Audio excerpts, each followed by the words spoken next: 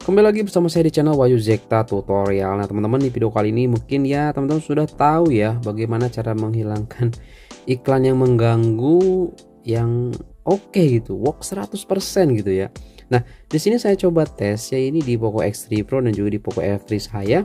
Kita akan coba tes teman-teman ya. Kebetulan yang di Poco X3 Pro saya di sini sudah saya pakai DNS yang seperti teman-teman tahu lah ya.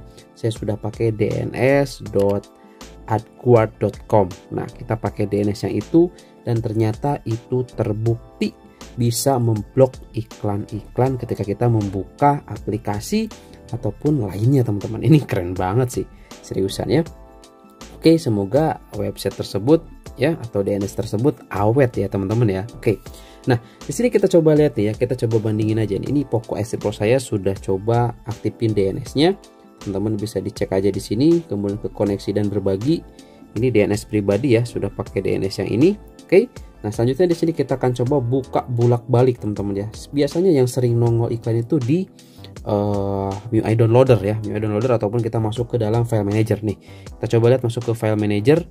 Dia di sini aman sama sekali di sini nggak ada iklan.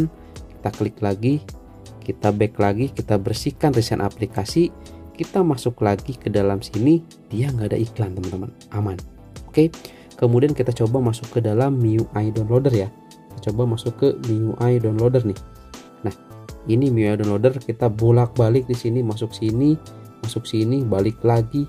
Kita coba ganti yang lain. Misalkan ini masuk sini aman. Dia nggak ada iklan yang muncul. Biasanya tiba-tiba tak gitu kan. Tak gitu kan. Biasanya gitu.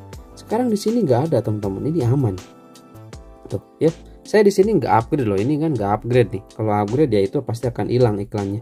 Nih lihat. Ini saya udah bolak-balik di sini sama sekali nggak muncul nggak muncul iklan. Tuh. Ya. Oke ya terbukti ya teman-teman ya. Sini kita coba balik lagi ini bersihkan recent aplikasi. Kita coba balik lagi ke sini. Nggak ada. Nah sekarang di sini kita coba lihat di Poco F3 saya yang belum saya aktifin ya. Nih kita masuk ke dalam sini ya file manager. Oke kita coba lihat. Kita back kita masuk lagi. Atau kita tunggu. Kita coba masuk lagi ke dalam MIUI downloader ya. Kita coba ke MIUI downloader. Masuk sini. Nah kan? Ada add. Oke. Nah kita coba back. Kita coba masuk lagi ke dalam file manager. Aman ya? Aman. Oke, kita back lagi. Aman ya. Sini aman ya. Oke, kita coba masuk lagi ke dalam uh, MIUI downloader ya. Oke. MIUI downloader, kita coba cek-cek nih. Sini. Nah, add lagi, teman-teman. Seperti itu ya. Ini mengganggu banget loh, seriusan. Add lagi. Oke. Itu kemudian ke sini sini aman aman nanti pasti ada muncul lagi nih ya itu Oke, nah sekarang di sini kita coba praktekkan aja nih ya. Kita coba ganti uh, dengan menggunakan DNS pribadi di Poco F3 saya. Semoga nggak ada iklan teman-teman ya. Oke, langsung aja di sini masuk ke dalam pengaturan, langsung ke dalam koneksi dan berbagi. Nah, di sini di DNS-nya gunakan DNS pribadi. Langsung aja masukkan di sini dns.adquart.com ya. Seperti ini dns@guard.com simpan. Dah, selesai. Kita bersihkan recent aplikasi.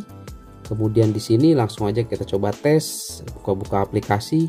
Oke, ini aman. Folder sini aman. Kita balik lagi aman. Balik lagi aman, balik lagi aman ya, teman-teman.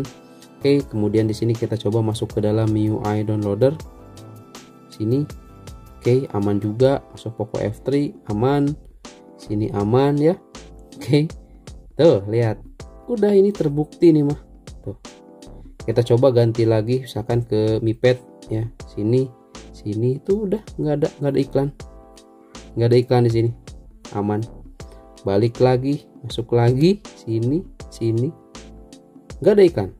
Serius ini bener sih.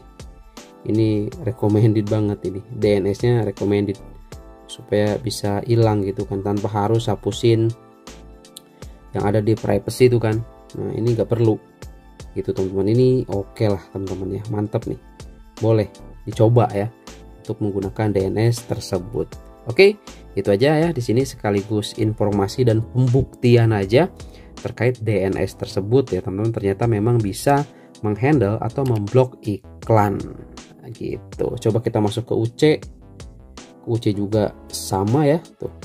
UC juga sama, aman teman-teman ya seperti itu. Biasanya tuh pas masuk tuh ada iklan, ini aman teman-teman. Seperti itu. Oke, jadi itu aja mungkin teman-teman ya di video kali ini. Mudah-mudahan ada informasi yang bermanfaat dan sampai ketemu lagi di video selanjutnya. Oke.